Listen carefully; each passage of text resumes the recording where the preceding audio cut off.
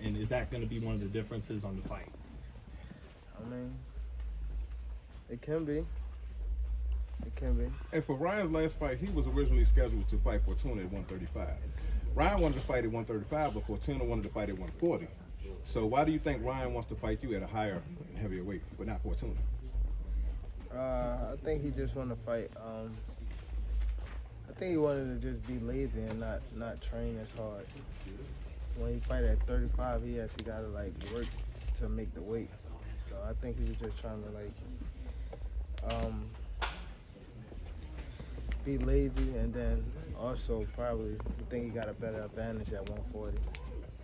Yeah, you and Ryan are both lightweights. So if Ryan accepted the fight with you at 135, wouldn't there have been would there have been no rehydration clause? At, you said what weight? I said you and Ryan are both lightweights. If Ryan accepted to fight you at 135, would there have been? Nah. Okay. Nah, it wasn't okay. It just he's trying to, I don't know, trying to figure out. I mean, find a way to have some advantage. So, I guess.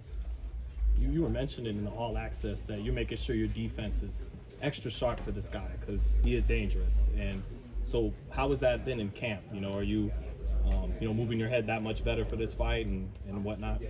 He only dangerous with the hook, nothing else. He's dangerous just with that hook. That's it. His hook is like his best punch. Well, he says he has a good right hand too. What if no, you get hell it? he don't. He don't got no damn good right hand. Got a good hook. That's it. That's it. If he does have a good right hand, is it a more competitive fight or? Uh, No. He's not a complete fighter at all. So. So, Ryan in said your you sup- opinion, Tank, how, how one-sided do you feel, or how dominant are you going to be in this fight, given uh, you feel that Ryan's just he's just a one-trick pony? Uh, we just gotta wait and see when we get in there, you know. For sure, gotta wait and see. But I just feel as though he just he ain't, he ain't got the everything. He don't have everything.